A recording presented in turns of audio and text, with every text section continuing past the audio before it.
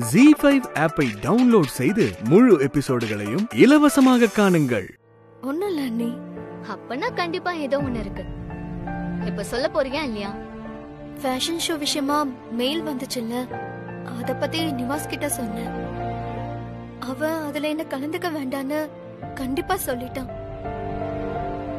கல்யாணத்துக்கு முன்னாடி இந்த மாடலிங் அது இதுன்றதெல்லாம் ஓகே ஆனா கல்யாணத்துக்கு அப்புறம் குடும்பத்துக்காக தான் வாழ்க்கைய அர்ப்பணிக்கணும்னு நிவாஸ் சொல்றான் நான் என்ன கடைசி ஆசையெல்லாம் முடிச்சுக்கிறதுக்கு சாகிறதுக்கா போறேன்.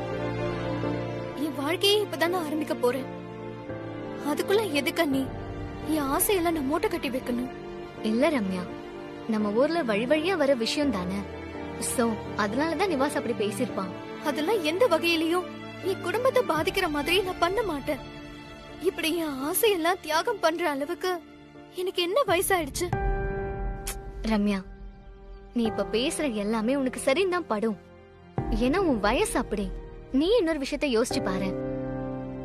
என்னைக்கா இருந்தாலும் கல்யாண வாழ்க்கைங்கிறது ஒரு பொண்ணுக்கு ரொம்ப ரொம்ப முக்கியம்.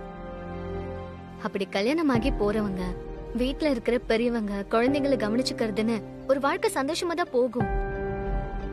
என்ன பொறுத்த வரைக்கும் லட்சியமா வாழ்க்கையான்னு யோசிச்சு பார்த்தா வாழ்க்கை தான் ரொம்ப ரொம்ப முக்கியம்னு தோணுது.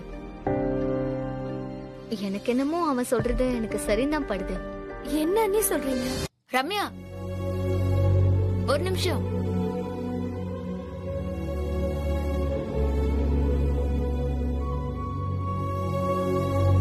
நீங்க பேசின எல்லாத்தையும் நானும் கேட்டுட்டு தான் இருந்தேன். அப்ப நான் என்ன நீ பண்ணட்டும்? நான் சொல்றேன்னு தப்பா நினைச்சுக்க வேணாம். பிரீத்தி பேசினதுக்கு எதிரா நான் பேசுறேன்லாம் நினைக்க வேணாம். பொம்பளைங்களுக்கு மட்டும் சுதந்திரம் இருக்கவே கூடாதுன்னு எந்த சட்டத்திலயும் எழுதியெல்லாம் வைக்கவே இல்ல. நான் கல்யாணத்துக்கு முன்னால ரோடு ரோடா போய் அதிரசம் விக்கலையா? அப்படி வித்த அனுபவத்துல தான் இப்போ நாலு கடை கொடுத்தப்ப கூட அதை நல்லா பாத்துக்க என்னால முடியுது. சுவீட்டு செய்யறது எப்படி என்னன்னு அப்போ கத்துக்கிட்ட விஷயத்த தான் இப்போ நான் கடையில பண்றேன். ஆம்பளைங்களுக்கு இருக்கிற மாதிரி பொம்பளைக்கும் லட்சியம் இருந்தா அதுல என்ன தப்பு இருக்கு? சபாஷ் அண்ணி நீங்களாச்சும் நான் பேசுனது கரெக்ட்னு சொல்லிருக்கீங்களே.